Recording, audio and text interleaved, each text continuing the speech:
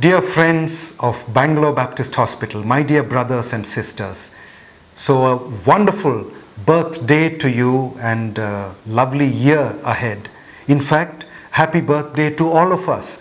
We have completed 48 years of being in this city and we look back with gratitude and look ahead with trust and hope. We are here to celebrate God's faithfulness, 48 years of His faithfulness. In fact, we have entered into the 49th year, and next year we will be entering into the Golden Jubilee year, that is 50 years of being here. And what a wonderful day to announce the name of the director designate. So I'm going to read to you the letter, the sealed envelope which was opened, the letter um, that I'm going to read to you just now, announcing the director designate appointment of director for Bangalore Baptist Hospital. The nominations committee was constituted by a governing body of Bangalore Baptist Hospital Society to recommend name for the next director of BBH. The committee met on 11th December 2020 and spent over seven hours meeting the members of the admin committee, the director, as well as the staff of BBH.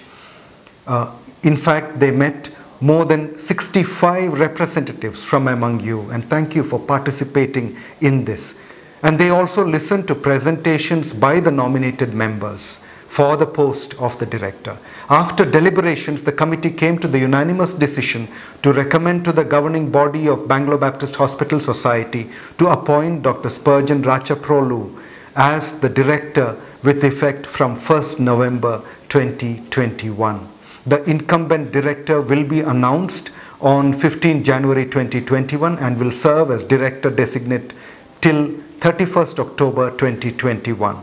The decision of the committee shall be ratified by the board in the March 2021 board meeting. Signed by Dr. J.V. Peter, Chairman, Board and Convener, Colonel Deepak Banyan, IMB Representative, Mr. Arun Kumar Banyan, invitee and member, Dr. Vikram Mathews from CMC Vellore, invitee and member, Dr. Joy Mammen from CMC Vellore, invitee and member.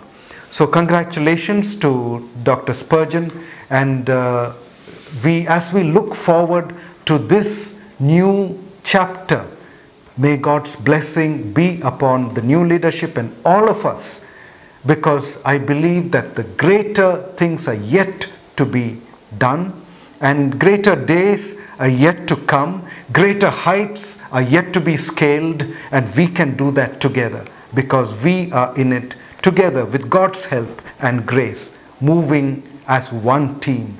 Thank you. God bless BBH.